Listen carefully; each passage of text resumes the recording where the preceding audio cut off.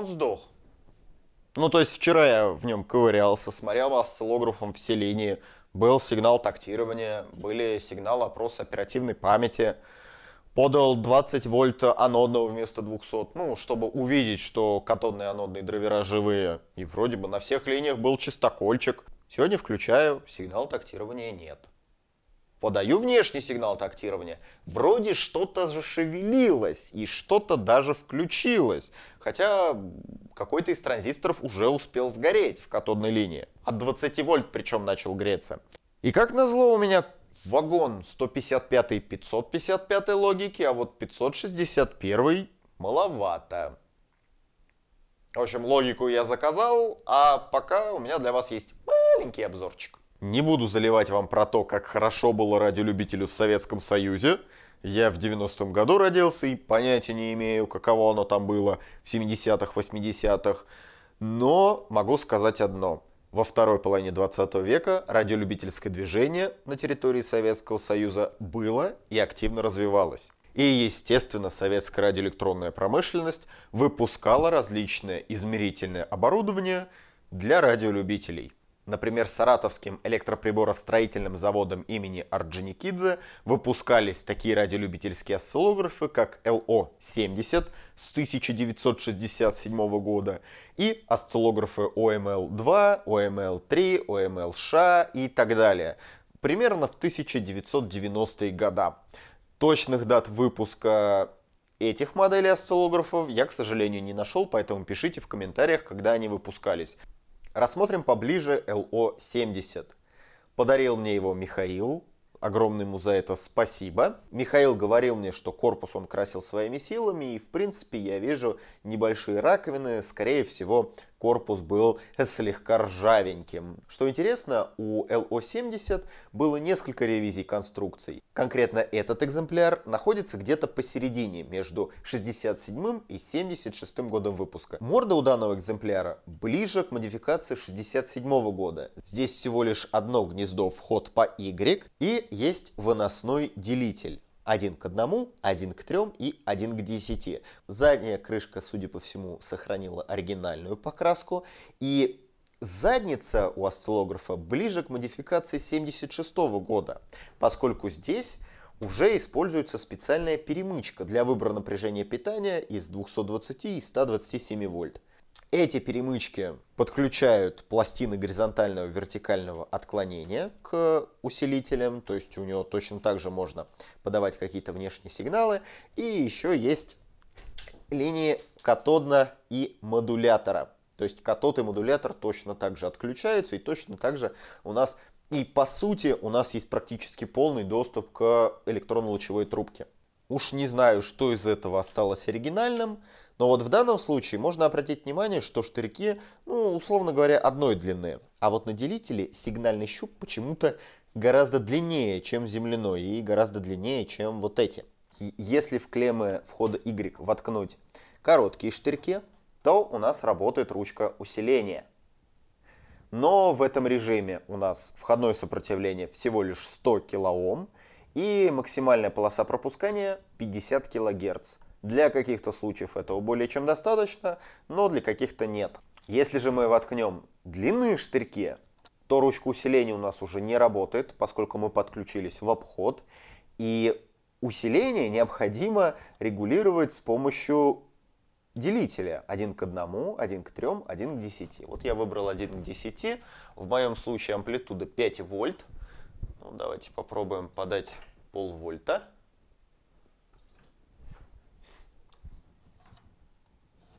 Пожалуйста. Синхронизацию работает. Вот мы ее вырубили. Частота плавно. Входное сопротивление в этом случае составляет 1 мегаом и гарантируется полоса пропускания в 500 кГц, то есть в 10 раз больше, чем в режиме с работающей ручкой усиления. Но минималистичненько, надо сказать. И что-то мне подсказывает, что здесь уже кто-то был и менял конденсаторы. Впрочем, спасибо ему на этом. На пинтоде 6G5P сделан входной усилитель. На сдвоенном триоде 6N3P сделан усилитель развертки. На вход подается сигналы с усилителя вертикального отклонения, с генератора развертки, он с той стороны. И каждый из триодов выдает сигналы на отклоняющие пластины, на вертикальную и на горизонтальную пару. Вот этот конденсатор разделительный, у нас здесь нет режима постоянного тока, только режим переменного тока. Ну, впрочем, это радиолюбительский прибор, и у него есть существенные ограничения. Помимо навесного монтажа деталей вокруг панелек, торчащих выводов, потенциометров, конденсаторов, стоек, присутствует текстолитовая пластина с лепестками, с распаянными на них деталями довольно популярный способ монтажа радиодеталей в 60-е годы. Скажем, в моем венгерском осциллографе все сделано на текстолитовых планках с лепестками. С другой стороны, в 60-е годы были проблемы с доступностью печатных плат. То ли дело сейчас. Отправил Гербера на PCBWay, и уже завтра готовые печатные платы отправляются тебе почтой. А если заказываешь там впервые, то еще и скидку дадут в 5 долларов. В итоге можно заплатить только за доставку. Ссылочка есть в описании под видео. У нас тут есть бумажечка. Судя по вот этой вот надписи, это у нас бумажечка на электронно-лучевую трубочку. Здесь нас больше всего волнует год производства. Октябрь 1974 года, судя по всему. Да, вот тут вижу, э, печатный штампик есть. Вот, смотрите, июнь 1974. Трубочка здесь стоит LO247 с электростатической фокусировкой отклонением луча. У нее 5 сантиметров щечло и напряжение на втором аноде 800 вольт. Хотя здесь что-то в районе 450 вольт, по-моему, подается. Изделие признано годным. Произведен входной контроль. Я так полагаю, июнь 1974 года это год выпуска трубки. А вот октябрь 1974 года, это когда трубка поступила, собственно, на сборку данного осциллографа. Исторический документ, надо сказать. Спасибо, Михаил, что сохранил его. Генератор развертки собран на пинтоде 6P15P. У него 9 поддиапазонов, которые покрывают диапазон от 10 Гц до 80 кГц. На самом деле этот осциллограф двухканальный. Я вам даже больше скажу. Теоретически он четырехканальный, но, к сожалению, вот моя модификация может только в два канала. Правда, работает он в двухканальном режиме так же хреново, как и в одноканальном, но факт остается фактом. Вот я кручу ручку одного генератора снизу. А вот я кручу ручку второго генератора сверху. Чем не два канала? Усиление могу вот, э, сигналы немножечко могу покрутить на генераторах. А еще, если вот так вот немножечко помагнетизировать, то можно порегулировать даже схождение и расхождение сигналов. Вот теперь один сигнал сверху, второй снизу. Сейчас вот еще немножечко помаколдую, поколдую. Вот обратно перешли. Теперь опять более частотный сигнал сверху, менее частотный снизу. Можно тут немножечко поправить уже ручкой. Ну, то, что э, физически присутствует, то можно подрегулировать ручкой. Чего э, в явном виде нету, вот приходится немножечко магии добиваться. Вот, поменял местами сигналы. Давайте обратно все это дело вернем.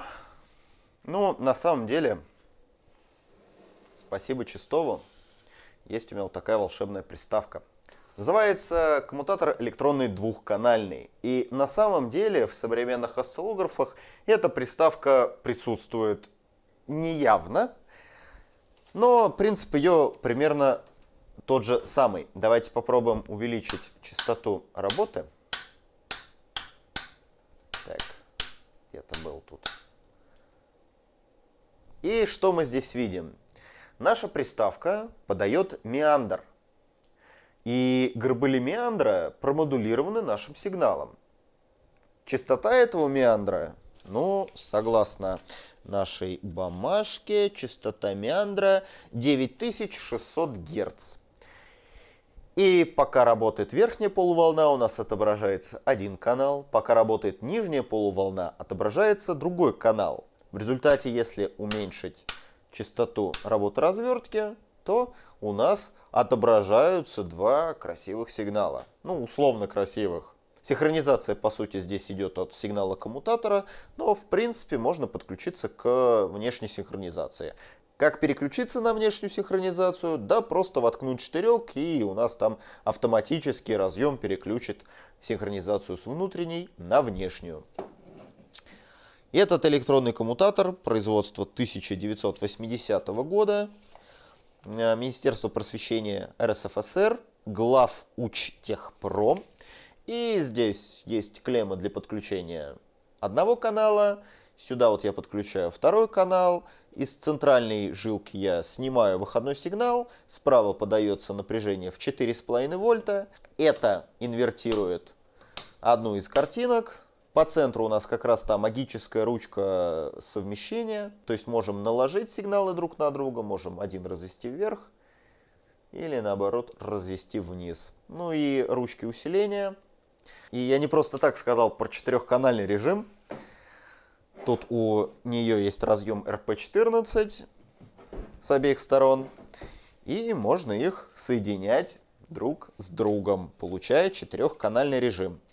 А, еще один недостаток в том, что частота у нас э, развертки 9600 Гц. Соответственно, максимальная частота сигнала в двухканальном режиме вот здесь заявлена всего лишь 400 Гц, а в четырехканальном 200 Гц. На двух транзисторах собран мультивибратор. Здесь на диодной схеме собран, собственно, совмещатор. На транзисторе собран инверсный каскад. Если мы выбрали инверсию, то идем через транзистор. Не выбрали инверсию, идем также через диодики. Все, простейший девайс. Разбирать я его даже не буду. Если очень хотите, то можем участково забрать учебный осциллограф большой, который был в одном из роликов, у которого вот такие картиночки есть. И отобразить весь этот фокус на нем, для чего он, собственно, предназначался. Ну и на этом у меня пока все. Такой вот маленький обзорчик маленького лампового осциллографа. Подписывайтесь на канал, на live-канал, на Телеграм и Инстаграм. Поддержите проект на и Патреоне. Огромное спасибо всем тем, кто уже поддерживает меня на Ютубе и Патреоне. Все ссылочки есть в описании под видео.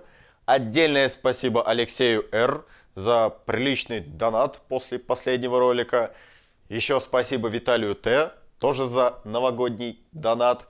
Также спасибо всем, кто поддерживает меня железяками. Кроме того, спасибо Андрею К. за подгон 5 индикаторов ИГПП 32 на 32, а также Виктору Боеву за 12 плиток ИГПП-2 и немного различной рассыпухи. Сейчас у меня уже есть 49 плиток ИГПП и ИГПП-2, а это значит, что проект ГИП овер 10 тысяч на стероидах размером 8 на 6 или метр шестьдесят на метр двадцать или 256 на 192 точки – ну, как минимум для него найдены панели. Еще у меня есть очень несколько интересных панелек, и вместе с EMG3 э, я про них обязательно расскажу. Там есть крутые цветные плазменные панельки. Еще спасибо Алексею А за камеру на видиконе КТП-82. Ну и спасибо Денису Р за три сотни сверхминиатюрных сдвоенных диодов 6Х7Б. Вроде как сверхминиатюрок у меня теперь в достатке. Ну, на пару лет точно хватит. Пока.